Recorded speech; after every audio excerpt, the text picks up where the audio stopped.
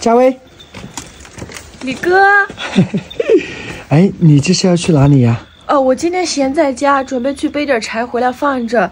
李哥，你你今天怎么穿的这么正式呀？哇，你穿西装，好帅呀！佳薇啊，嗯，我今天准备去相亲呢。相亲？你相什么亲？谁让你相亲啊？你自愿的吗？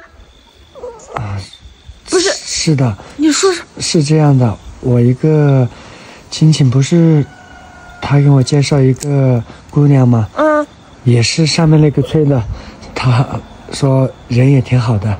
不，不，李哥，你别去相亲，万一他对你不好，而且你也不认识他，不了解他。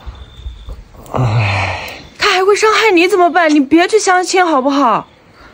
你，哎呀，我不管你不能去相亲。真的彼此都不了解，而且你也，你也不慌着结婚呀。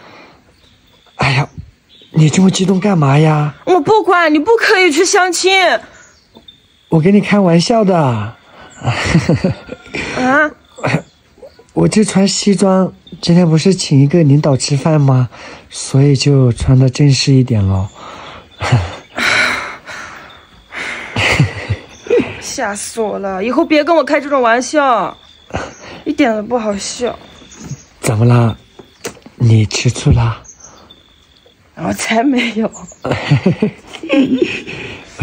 你等一下。哎，你不是说要去背柴吗？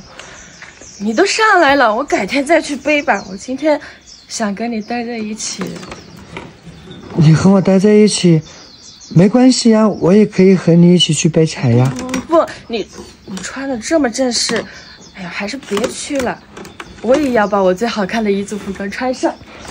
哎，你你你穿最好看的彝族服装干嘛呀？李哥，你上次不是说你拍照很好看吗？我把我最好看的彝族服装穿上，你帮我拍几张美美的照片嘛？哎，好不好嘛？可以，可以，可以，可以。那你去换吧。好，那我去换好了。好好，那我在这里等你啊。等一下。